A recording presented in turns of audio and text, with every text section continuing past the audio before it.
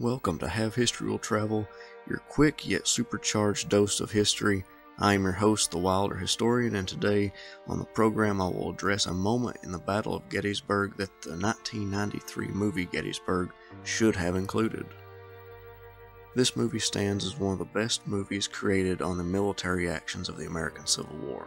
Although much of it was adapted from a novel entitled Killer Angels, its historical accuracy shines through and puts the viewer squarely in the middle of the bloodiest battle on the North American continent.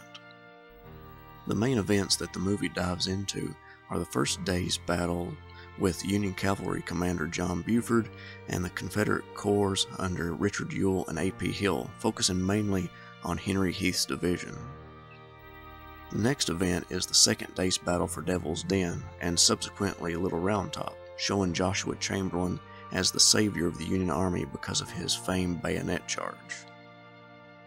The largest event that the film highlights is the fateful event known as Pickett's Charge, where roughly 10,000 Confederates marched across a mile long field to attack the Union center and get annihilated in their attempt.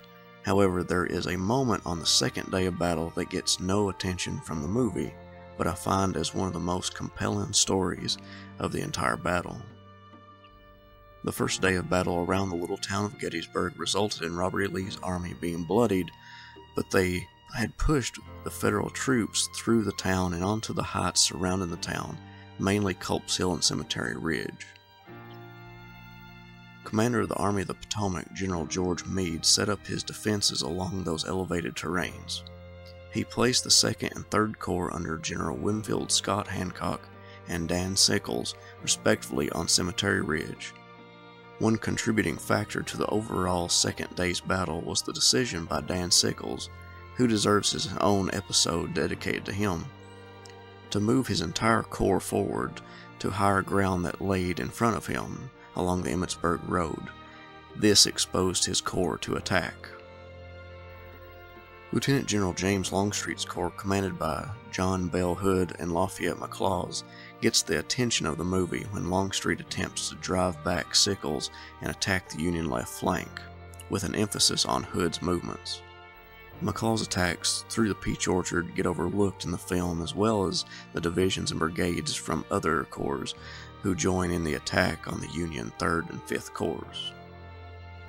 Major General Richard Anderson's division of A.P. Hill's Corps was to the left of McLaws, and more specifically, Brigadier General Ambrose Wright's brigade of Georgians was to the immediate left.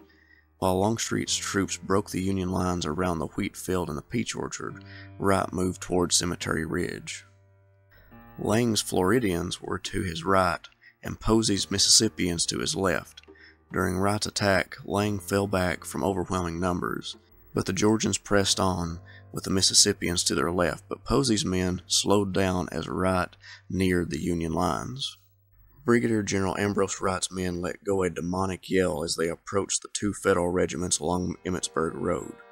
The Massachusetts and New York veterans responded with a deadly volley, sending scores of Wright's men sprawling into the grass. One Federal soldier called it one of the most destructive volleys I have ever witnessed. They hesitated, then reeled, they staggered and wavered slightly, yet there was no panic. Undeterred, the Georgians pressed on. After overwhelming the Union defenders immediately to their front, they turned their attention to the Federal artillerymen in their way as they concentrated toward Cemetery Ridge and the copse of trees that made their home there. The cannon fire tore large gaps in Wright's line, but the Georgians' advance continued.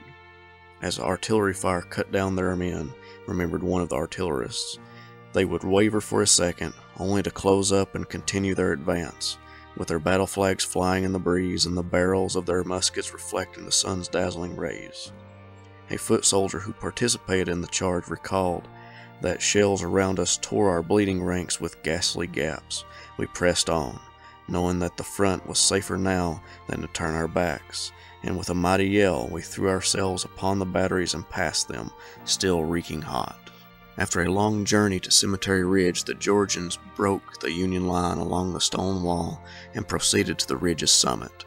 Without adequate support from Lang or Posey, Wright was forced to fall back across the field they had fought so hard to cross, the sanctuary of the Cemetery Ridge that housed the Confederate defensive line. Wright's losses were staggering. All but one of his regimental or battalion commanders were killed, and about half of his 1,400 man brigade had been killed, wounded, or captured. The next day on July 3rd, Lee would order multiple divisions and brigades to try to accomplish what Wright had done with one brigade, roughly 15% of the troops that would be used the next day. The movie Gettysburg got a lot of attention directed toward the American Civil War, but its limited depictions leave out extremely important aspects, people, and events that are needed to tell the amazing story of Gettysburg. Thank you all for listening. If you have any suggestions to what events should be included, please leave them in the comments, and I'll see you next time.